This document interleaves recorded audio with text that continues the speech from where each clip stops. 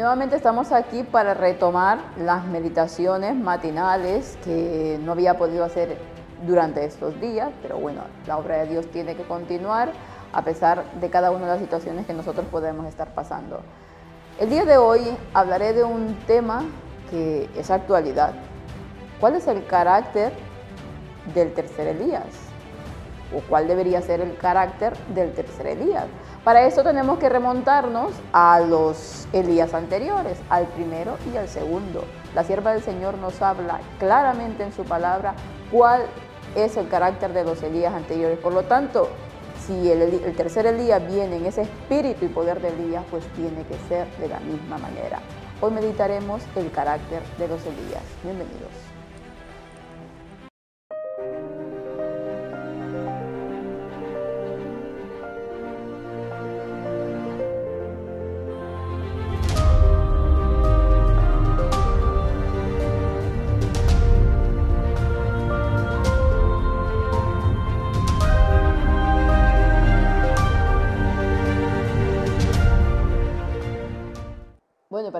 Personas que no sepan de, de lo que estoy hablando, de, de, un tercer Elías, pues invito a que puedan seguir nuestras conferencias, sobre todo los temas que corresponden a que en el tiempo del fin habría un, habría un tercer Elías, para que puedan entender más.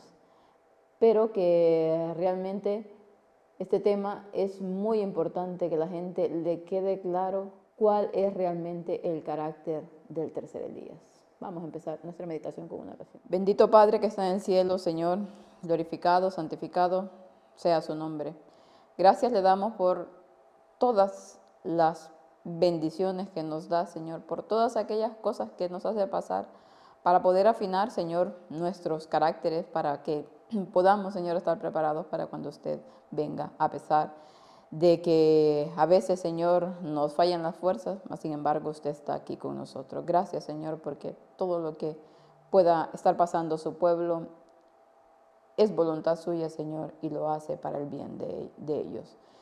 Guarde de, de, todos aquellos que lo están necesitando, de aquellos que son sinceros de corazón, Señor, que su bendición pueda estar con ellos y ayúdenos a nosotros a poder seguir preparando un pueblo para esa tan pronta venida, Señor, y para que puedan estar preparados para los ataques que Satanás está haciendo, Señor, en cada una de las personas. Todo esto se lo rogamos en el bendito nombre de su Hijo amado Cristo Jesús, con el perdón de nuestros pecados. Amén. Y en la Biblia, ¿dónde encontramos que habrá un tercer Elías? Pues precisamente en Malaquías 4, 5 y 6. Vamos a ver qué nos dice. He aquí yo os envío el profeta Elías antes que venga el día de Jehová grande y terrible él hará volver el corazón de los padres hacia los hijos y el corazón de los hijos hacia los padres. No sea que yo venga y hiera la tierra con maldición. Aquí el Señor, mediante su profeta Malaquías, estaba dándole esa visión, ¿no? O estaba diciéndole que él, él enviaría al profeta Elías, pero no a Elías, literalmente que iba a resucitar y, y iba a estar de nuevo en esta tierra, como creen muchos evangélicos, no.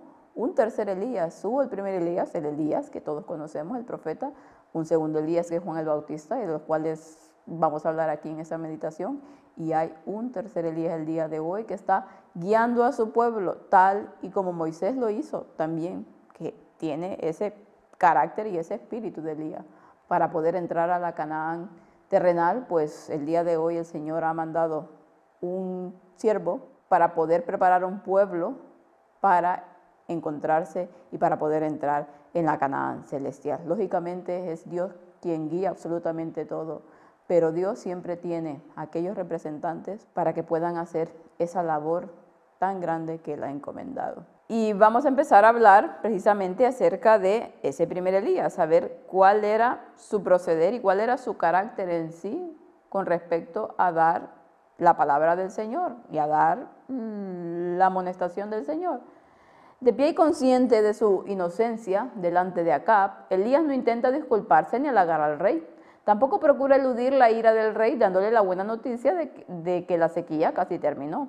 No tiene por qué disculparse. Lleno de indignación y del ardiente anhelo de ver honrar a Dios, devuelve acá su imputación, declarando intrépidamente al rey que son sus pecados y los de sus padres lo que atrajo sobre Israel esta terrible calamidad.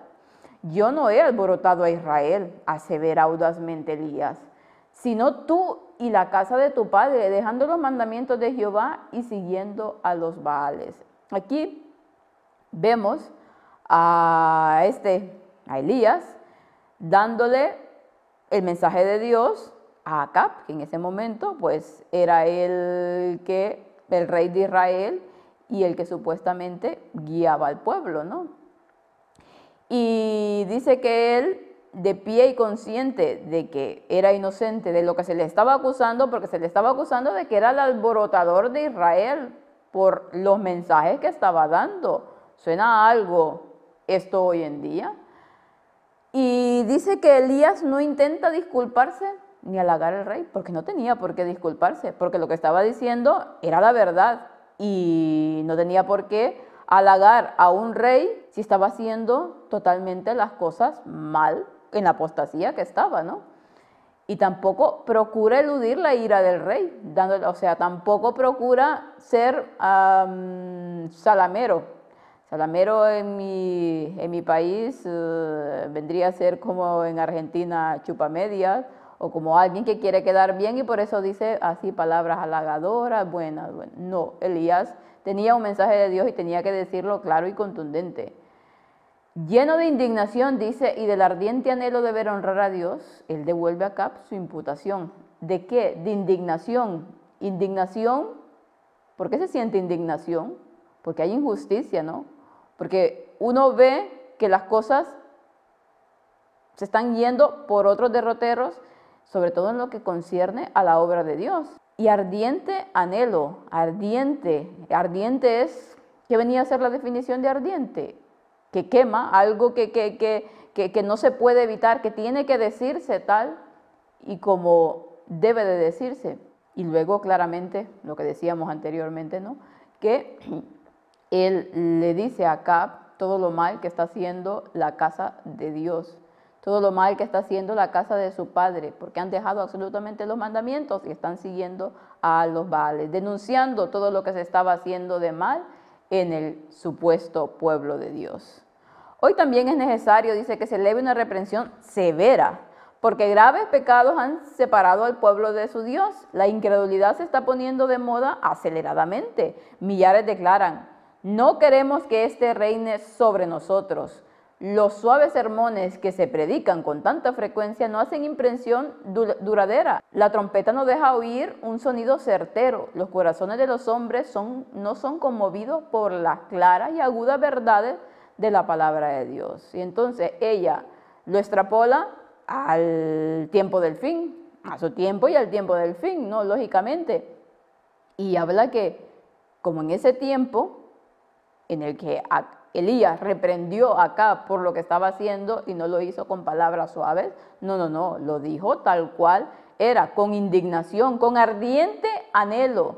Palabras que tenían que calar en lo más hondo y para eso debían de decirse así, claras, contundentes, sin paliativos. Y entonces nos dice que hoy también es necesario que se eleve una reprensión severa, porque graves pecados han separado al pueblo de Dios. Estamos en el tiempo del fin, sobre todo nosotros. Porque muchas personas, dice, declaran, no queremos que este reine sobre nosotros. Y hoy en día no está pasando lo mismo.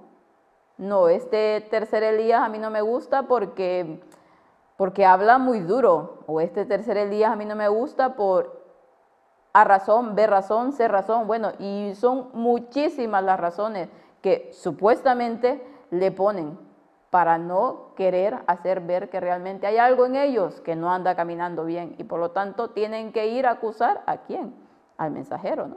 Los suaves sermones que se predican con tanta frecuencia no hacen impresión duradera, no pueden, o sea, si uno habla de una manera suave, timorata, halagando a, a, las personas, sobre todo en lo que se refiere al siervo de Dios, al que está enfrente de todo, no puede conmover los corazones. Como ya una vez di un ejemplo yo, si estás viendo que todo se acaba, estás viendo que todo a tu alrededor se está quemando y que las personas que no lo saben, que todo se está acabando, se van a ir a quemar, ¿qué vas a hacer? A decirle, oye, mira, te vas a quemar así de suave. No, tiene que hablarle duro para que reaccione, para que vea, para que abra los ojos, ¿no? Que se está quemando. Y eso es lo que la sierva del Señor aquí nos está diciendo. Son muchos los cristianos profesos que dirían, si expresasen sus sentimientos verdaderos, ¿qué necesidad hay de hablar con tanta claridad? Podría preguntar también, ¿qué necesidad tenía Juan el Bautista de decir a los fariseos, oh generación de víboras, ¿quién os enseñó a huir de la ira que vendrá? En Lucas 3.7. Y hoy en día lo dice ella aquí, lo, lo pasaba en su tiempo, porque lo mismo que fue, lo mismo que será. Son muchos los cristianos, profesos, ¿no? Profesos, ¿qué quiere decir profesos? Que aparentan ser cristianos, que si expresasen realmente sus sentimientos verdaderos, porque muchas veces mmm, decimos tantas cosas, pero lo que hay allá adentro no terminamos de expulsarlo, dirían, ¿qué necesidad hay de hablar con tanta claridad? ¿Qué necesidad hay de que sea tan duro? ¿Qué necesidad hay de que sea tan severo? ¿Qué necesidad hay, bueno, y de tantas otras cosas más? Pero también habría que preguntarse, estos mismos que se preguntan estas cosas, ¿qué necesidad entonces tenía Juan el Bautista de decir a los fariseos, oh generación de víboras? Parecería, uy, este Juan el Bautista, mira, ¿qué hace, no? ¿Qué cosa le está diciendo a los fariseos? Sin embargo, Juan el Bautista, ya, ya iremos viendo más, pero cuando estamos diciéndole algo a, a los que dan la palabra de Dios e intentan hacer eh, lo correcto, pues también estamos aquí criticando a Juan el Bautista, porque tenía el mismo espíritu. El verdadero amor se esfuerza en primer lugar por honrar a Dios y salvar las almas. Los que tengan este amor no eludirán la verdad para ahorrarse los resultados desagradables que puedan tener el hablar claro. Cuando las almas están en peligro, los ministros de Dios no se tendrán en cuenta a sí mismos, sino que pronunciarán las palabras que se les ordenó pronunciar y se negarán a excusar el mal o hallarle paliativos. ¿Más claro? ¿Queremos algo más claro? El verdadero amor, mira que aquí ella lo está poniendo así, se esfuerza lógicamente en primer lugar honrar a Dios, ¿vale? Y salvar las almas, porque ese es el objetivo. Si esto no lo tiene claro el ministro de Dios, pues muy mal va. Los que tengan este amor no, eludirán la verdad para ahorrarse, dice, aquellos resultados desagradables. Quedar bien con todo el mundo, ¿no? Muchos son así, de políticos. Los políticos hacen este tipo de cosas y ya vemos cómo van. Cuando las almas están en peligro, ¿qué deben de hacer los ministros? No se tendrán en cuenta a sí mismos, no se tendrán en cuenta las consecuencias y lo que les pueda pasar, sino que ellos pronunciarán las palabras que Dios les ordenó pronunciar y se, y se negarán a excusar el mal. El mal no se puede excusar de ninguna otra manera si el mal existe. Otra cosa es que se ande viendo mal donde no hay mal. Eso mm, hoy en día también. O hallarle paliativos o buscar de una forma que se escuche un poco más suave, ¿no? Dios no envía mensajeros para que adulen al pecador, no da mensajes de paz para arrullar en una seguridad fatal a los que no están santificados, impone pesadas cargas a la conciencia del que hace mal y atraviesa el alma con flechas de convicción. Los ángeles ministradores le presentan los temibles juicios de Dios para ahondar el sentido de su necesidad e impulsarle a clamar, ¿qué debo hacer para ser salvo? Entonces la mano que humilló en el polvo levanta al penitente. La voz que reprendió el pecado y avergonzó el orgullo y la ambición pregunta con la más tierna simpatía, ¿qué quieres que haga? Entonces nos dice, nos sigue diciendo aquí y sigue siendo un poco más clara. Dios no envía mensajeros para que adulen al pecador. No, Señor, las cosas como son. Nos da mensajes de paz para arrullar en una seguridad fatal a los que no están santificados. Si no se está haciendo, si no están haciendo las cosas como deben de hacer. Pues, ¿qué vamos a decir, no? Impone, dice, pesadas cargas a la conciencia del que hace mal y atraviesa el alma con flechas de convicción. Y los ángeles están ahí influyendo en estas personas para que se den cuenta que realmente estamos viviendo en esos tiempos del juicio. Nuestros nombres pueden estar pasando. Hoy no podemos andar con chiquitas. Tenemos que hacer las cosas viendo la necesidad que hay en medio del pueblo de Dios, viendo que el tiempo se nos avalancha sobre nosotros y debemos de llegar hasta lo más profundo del alma de los pecadores, de las personas. Lógicamente todos somos pecadores, pero estamos en ese camino y debemos de ahondar ahí para que reaccione y diga esto, ¿qué debo hacer para ser salvo? ¿Qué quieres que haga cuando escucha la voz que reprendió el pecado? Y en este caso está hablando de Juan, que era ese segundo Elías. Cuando comenzó el ministerio de Juan, la nación estaba en una condición de excitación y descontento rayana en la revolución.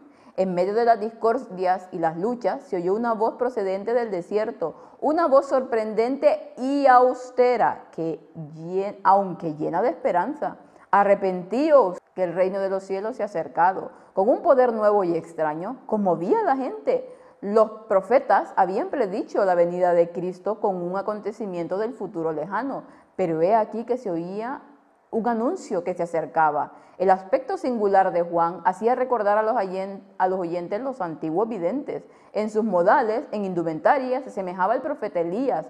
Con el espíritu y el poder de Elías denunciaba la corrupción nacional y reprendía los pecados prevalecientes sus palabras eran claras y directas y convincentes. Muchos creían que era uno de los profetas que había resucitado de los muertos. Toda la nación se conmovía, muchedumbres acudieron al desierto.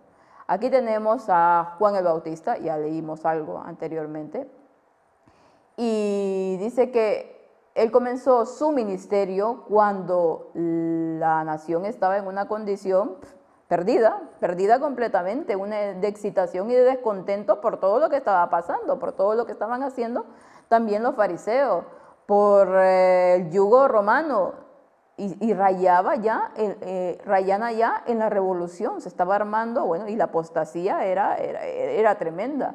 En medio de todo eso, Dios levanta a este profeta para poder que preparar el camino, porque venía el Mesías, venía el Mesías a comenzar su ministerio y a empezar a poner las cosas en su sitio, claramente. Se oye una voz, dice, sorprendente y austera. Miremos la palabra aquí, austera. ¿Qué quiere decir austera? Que no anda con ningún adorno, que es vehemente, que es apasionada en, en, las cosas que dice, que es comedido también, que es templado. Si nosotros buscamos la definición de austera, nos saldrán muchas cosas. Y, claramente nos saldrá que es la forma en cómo los Elías tienen que proclamar el mensaje. Con un poder, dice, nuevo y extraño, claro, mm, los fariseos se comportaban con unas apariencias de piedad también, hacían tantas prohibiciones como querían, porque ya lo hacían, pero también ahí iban, iban de, santitos, ¿no? Y de, y de pobrecitos, muchas veces para conseguir lo que querían, lógicamente. Pero Juan no adulaba a nadie. Juan iba y decía las cosas claras. Para ellos entonces todo esto era nuevo y extraño, porque conmovía, porque llegaba al fondo de los pecadores, a esos pecadores que realmente tienen sinceridad en su corazón y andan buscando la verdad. Los conmovía y les hacía ver el mal que estaban haciendo. Su aspecto era singular, dice, porque parecía claramente a esa voz de los profetas antiguos, cuando reprendían al, pueblo por cada uno de sus pecados. Y con el espíritu y el poder de Elías, por lo tanto, aquí vemos a Juan, tenía ese espíritu y ese poder de Elías que ya lo leímos en la primera parte de cómo él enfrentaba las cosas. Denunciaba la corrupción nacional y reprendía a los convincentes. Por lo tanto, no era una obra de ir, mira que mm, Dios te ama y, sea lo que sea, hagas lo que hagas, pues te va a perdonar y ya está. No, denunciaba y decía las consecuencias, lo que va a pasar si se seguía por ese camino. Ah, pero aparte de sorprendente y austera, era llena de esperanza. Lo estaba porque algunos podrán decir, hombre, aquí no, no se demuestra nada amor. Claro, el verdadero amor no es ese que anda dudando a las personas, lógicamente que tenemos que tener nuestros límites. Tampoco es que vamos a ir a insultar a la gente, eso está claro. Eh, depende de qué consideremos como insulto también, ¿no? Pero Juan los reprendía, pero al mismo tiempo les daba esperanza y les decía, viene el Mesías. Les decía, el reino de Dios se ha acercado, obtendremos la salvación, obtendremos la liberación.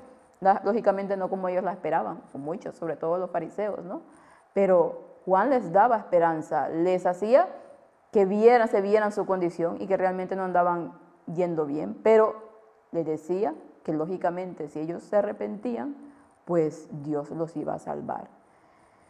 Y la última cita ya para terminar, y es la que nos habla de el tercer Elías. La profecía dice debe de cumplirse. El Señor dice lo que mencioné al principio, Malaquías. He aquí yo envío al profeta Elías antes de que venga el día grande y terrible del Señor.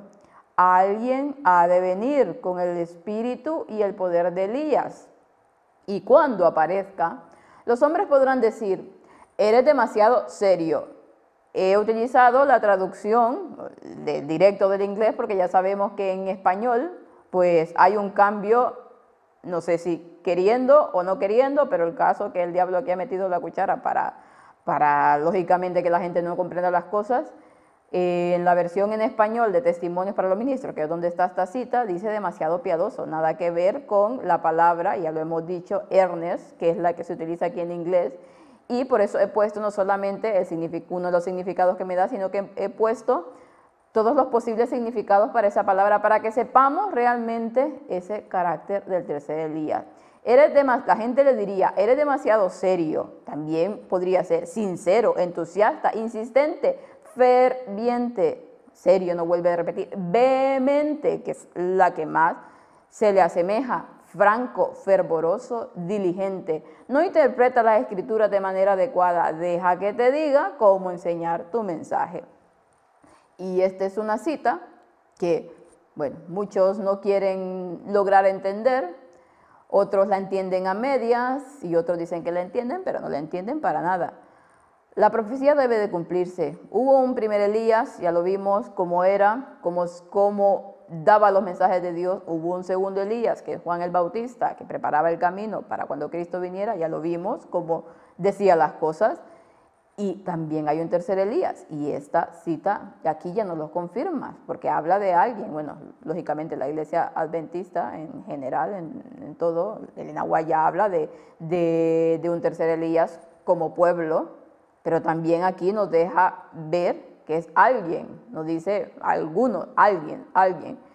Y, bueno, ah, también hay otra cosa aquí con el inglés que no la voy a explicar porque no es en sí el tema que estoy hablando, pero que nos deja claro aquí que la, gente cuando apareciera diría que eres demasiado serio o demasiado entusiasta o demasiado ferviente, ardiente, austero, como, como Elías, ¿no? Como, como Juan el Bautista, vehemente, franco, directo, fervoroso y diligente.